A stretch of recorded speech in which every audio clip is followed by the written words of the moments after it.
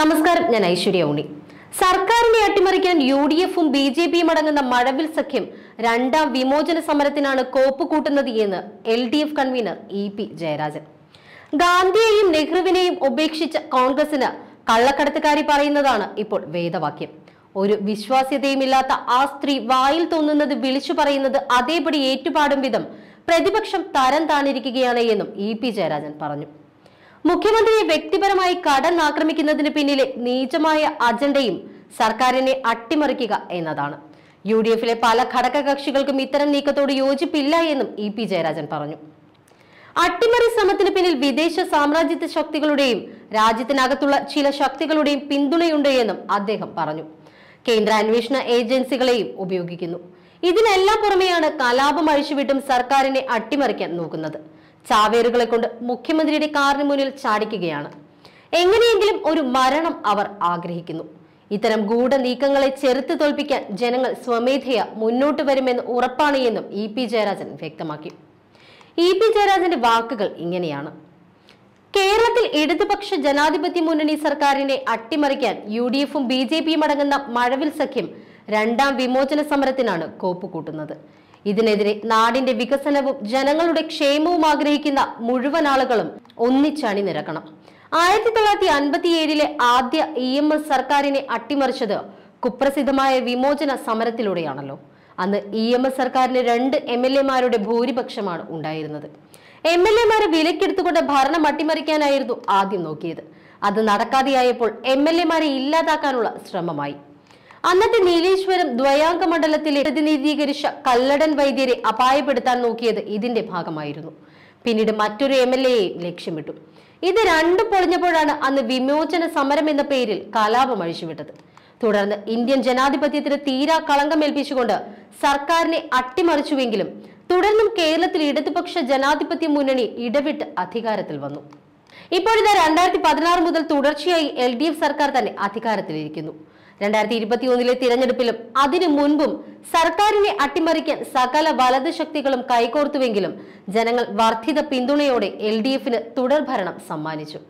അഞ്ചു വർഷത്തെ ഭരണം നാട്ടിലുണ്ടാക്കിയ വികസനവും ജനങ്ങൾക്ക് നൽകിയ ക്ഷേമവുമാണ് ഈ ജനപിന്തുണയുടെ അടിസ്ഥാനം. രണ്ടായിരത്തി ഇരുപത്തിയൊന്നിൽ അധികാരത്തിൽ വന്ന സർക്കാർ രണ്ടു വർഷം പൂർത്തിയാക്കും മുൻപ് തന്നെ വികസന ക്ഷേമ പ്രവർത്തനങ്ങളിൽ ഒട്ടേറെ മുന്നേറ്റമുണ്ടാക്കി. അതിദാരിദ്ര്യമില്ലാത്ത കേരളം എന്ന ലക്ഷ്യം കൈവരിക്കുന്നു. തൊഴിൽ രഹിതരില്ലാത്ത കേരളം എന്ന ലക്ഷ്യത്തിലേക്ക് കുതിക്കുന്നു. കാർഷിക വ്യവസായ മേഖലകളിലും വൻ മുന്നേറ്റമുണ്ടാകുന്നു. ആരോഗ്യ വിദ്യാഭ്യാസ രംഗത്ത് ലോകത്തിന് മാതൃകയാകുന്നു. ഉന്നത വിദ്യാഭ്യാസ മേഖലയെ ലോക നിലവാരത്തിലേക്ക് ഉയർത്താൻ ശ്രദ്ധേയമായ ചുവടുവയ്പ് നടത്തുന്നു.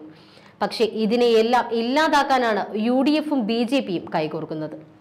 ഇതേ രീതിയിൽ അടുത്ത മൂന്ന് വർഷം കൂടി ഭരണം തുടർന്നാൽ പ്രതിപക്ഷം തീർത്തില്ലാതാകുമെന്ന ഭയമാണ് യു ഡി എഫിനെയും ബി ജെ പിയെയും ഭരിക്കുന്നത്. ലോക്സഭാ തിരഞ്ഞെടുപ്പിലെ തോൽവിയും ഇരു കൂട്ടരും മുന്നിൽ കാണുന്നു. സംസ്ഥാനത്തെ സാമ്പത്തികമായി ഞെരുക്കി വികസന ക്ഷേമ പ്രവർത്തനങ്ങൾ തകർക്കാൻ കേന്ദ്ര ബി ജെ പി സർക്കാർ ശ്രമിക്കുമ്പോൾ യു ഡി എഫ് അതിന് ഓശാന പാടുന്നു. ഈ പ്രതിസന്ധി മറികടക്കാൻ സംസ്ഥാന സർക്കാർ ശ്രമിക്കുമ്പോൾ അതേ ബി ജെ പിയുമായി കൈകോർത്തുകൊണ്ട് കലാപത്തിന്റെ ചാവേറുകളെ ഇറക്കിവിടുകയാണ് യു ഡി എഫ് ചെയ്യുന്നത്. അതേസമയം കേന്ദ്രം പെട്രോളിയം ഉൽപ്പന്നങ്ങൾക്കും പാചകവാതകത്തിനുമെല്ലാം അടിക്കടി വില വർദ്ധിപ്പിക്കുന്നതിൽ യു ഡി എഫിന് വലിയ പ്രയാസവും തോന്നുന്നില്ല. ഈ സമരങ്ങളും ക്ലച്ച് പിടിക്കാതായപ്പോഴാണ് പഴയ കുപ്പിയും പഴയ വീഞ്ഞുമായി ഇറങ്ങിയിരിക്കുന്നത്. കഴിഞ്ഞ നിയമസഭാ തിരഞ്ഞെടുപ്പ് കാലത്ത് പയറ്റിയ അതേ ആയുധം തന്നെയാണ് പുറത്തെടുത്തിരിക്കുന്നത്. അതിന് കരുവാക്കുന്നതോ കുപ്രസിദ്ധ കള്ളക്കടത്തുകാരിയെ. ഗാന്ധിയെയും നെഹ്റുവിനെയും ഉപേക്ഷിച്ച കോൺഗ്രസിന് ഈ കള്ളക്കടത്തുകാരി പറയുന്നതാണ് വേദവാക്യം. ഒരു വിശ്വാസ്യതയുമില്ലാത്ത ആ സ്ത്രീ വായിൽ തോന്നുന്നത് വിളിച്ചു പറയുന്നത് അതേപടി ഏറ്റുപാടും വിധം പ്രതിപക്ഷം തരം താണിരിക്കുന്നു. മുഖ്യമന്ത്രിയെ വ്യക്തിപരമായി കടന്നാക്രമിക്കുന്നതിന് പിന്നിലെ നീചമായ അജണ്ടയും സർക്കാരിനെ അട്ടിമറിക്കുക എന്നതാണ്. യു ഡി എഫിലെ പല ഘടകകക്ഷികൾക്കും ഇത്തരം നീക്കത്തോട് യോജിപ്പില്ല. ഒന്നാം വിമോചന സമരത്തിന് അമേരിക്കൻ ചാരസംഘടനയിൽ നിന്നും പത്ത് കോടിയാണ് കൈപ്പറ്റിയത്. പണം നൽകിയവർ തന്നെ അത് പിന്നീട് വെളിപ്പെടുത്തിയതുമാണ്. ഇപ്പോൾ നടക്കുന്ന ഈ അട്ടിമറി ശ്രമത്തിന് പിന്നിൽ വിദേശ സാമ്രാജ്യത്വ ശക്തികളുടെയും രാജ്യത്തിനകത്തുള്ള ചില ശക്തികളുടെയും അകമഴിഞ്ഞ പിന്തുണയുണ്ട്. സി ബി ഐയും ഇ ഡിയും ഉൾപ്പെടെയുള്ള അന്വേഷണ ഏജൻസികളെയും ഉപയോഗിക്കുന്നു. ഇതിനെല്ലാം പുറമെയാണ് കലാപം അഴിച്ചുവിട്ട് സർക്കാരിനെ അട്ടിമറിക്കാൻ നോക്കുന്നത്. ചാവേറുകളെ കൊണ്ട് മുഖ്യമന്ത്രിയുടെ കാറിന് മുന്നിൽ ചാടിക്കുകയാണ്. എങ്ങനെയെങ്കിലും ഒരു മരണമാണ് അവർ ആഗ്രഹിക്കുന്നത്. ഇത്തരം ഗൂഢനീക്കങ്ങളെ ചെറുത്തു തോൽപ്പിക്കാൻ ജനങ്ങൾക്ക് സ്വമേധയ മുന്നോട്ട് വരേണ്ടതുണ്ട്. അട്ടിമറി നീക്കം ചെറുക്കാനുള്ള കരുത്ത് എൽ ഡി എഫിനും സി പി ഐഎമ്മിനുമുണ്ട് എമ്മിനുമുണ്ട് കൂടുതൽ കരുത്തോടെ ഇത്തരം നീക്കങ്ങളെ ജനങ്ങൾ ഒറ്റക്കെട്ടായി ചെറുത്ത് തോൽപ്പിക്കുക തന്നെ ചെയ്യും.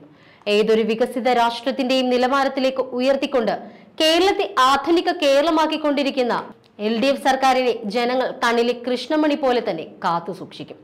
ഇങ്ങനെയായിരുന്നു ഇ പി ജയരാജന്റെ വാക്കുകൾ. വലിയ വായിൽ ഇത്രയും വലിയ വാക്കുകൾ പറഞ്ഞ ഇ പി ജയരാജനോട് ഒരു ചെറിയ ചോദ്യം മാത്രം ചോദിക്കട്ടെ.